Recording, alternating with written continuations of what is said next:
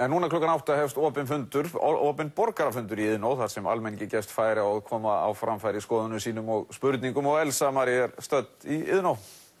Já, við erum hérna í Iðnó og eins og sérst kannski þá er orðið smekkfullt út úr dyrum þó að fundurinn hefjist eftir hvað fimm mínútur. Uh, þannig að það er ljóst að almenningur ætla að nota þetta tækifæri til þess að viðra skoðanir sínar og koma spurningur sínum á framfæri. Uh, ráðamennum þjóðarinnar, uh, sælabankarstjórum, alþingismennum, ráðherrum og bankarstjórum var búið að koma á fundin. Ég nú reyndar ekki sé neitt ennþá en hérna hjá mér er Davíð Stefánsson, einn af skipileggetum fundarins. Davíð, hvernig, með hvað hætti verður þessi fundur? Það verður bara mjög, mjög einföldum líðræðislegum hætti. Það eru fjórir eh, stuttir frumalendur, svona frekar hlutlausir og uh, þegar þeir hafa lokið málusinu þá er orðið, orðið bara gefið lust út í sal í þrjáru mínútur á mann. Og akkur finnst þið þörfu að halda svona fund? Uh, kannski bara þurfum við að heyra í fólki og það er eins og kannski vanti hugmyndir, hugsalega úr nýri átt heldur en frá stjórnmálamönnum. Ég veit ekki, kannski þurfum við bara að fá einhverja rött úr, úr græsrótinni og hérna En það allavega hefur skort á svona beina samræði á milli, milli stjórnmálamanna og almennings. Finnst þér almenningur hafa orðið út undan í umræðinu? Já, ég myndi svona halda það sko. Það, það sem ég hef verið svona svipast um eftir á, á netinu eða í svona beinu spjalli á milli þeirra sem er ráða og þeirra sem eru ríkið og eru þjóðin, það er ekkert mikið um svona bein samskipti. Við ákvæðum sérst að bjóða hingað stjórnmálamönnum ef þeir vildu svara beint spurningum almennings og hérna, ég hef ekki séð marga ennþá. Ja, er einhverju mættir? Ég sá hérna Mörð Átnarsson, ég, ég held að hann, ég, já, ég hef ekki séð fleiri, ekki ennþá. Ég sé að Jón Baldin er hérna búinn að skipa sér á aftasta bekk, en segð mér, hvað vilt að koma út úr svona fundi?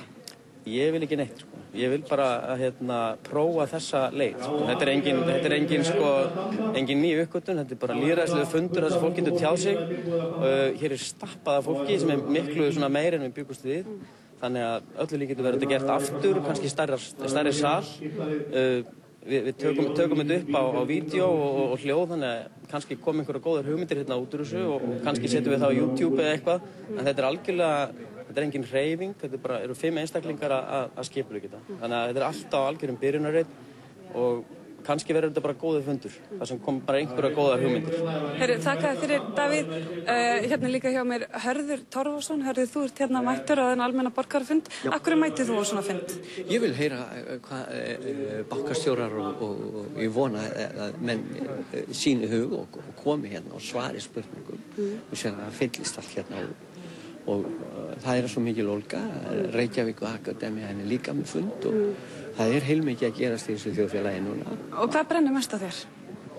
Brennur mest á mér? Mm. Ég vil fá þess að ríkistjórn burt og sælabankastjórnina uh, uh, burt mm. Ég vil fá nýja sín á Ísland í dag Þetta er menn, menn sem eru búin að kæra okkur í klessu þeir ekki að fá leiði til að halda áfram að hilja spórsi það, bara, það gengur ekki Áttu vonaði að fá einhver frekari svör hérna í kvöld heldur en hafa verið veitt nú þegar? Ég ætla að halda mér til les hérna í kvöld, ég ætla að fylgjast með og sjá hvað er að gerast en uh, það er spennandi, þetta eru spennandi tímar af því að þetta er að, að hérna, ég býð spenntur eftir hvað gerist núna um mánagamótin.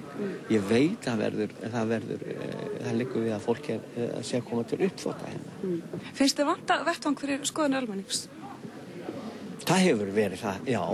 Við erum, við erum bara fengið skilabóð frá ráð, ráðhærum um að vera róleg og hvernig er það hægt? Þetta er líf okkar, þetta, þetta er heilsa okkar, þetta er, þetta er fjármunir okkar.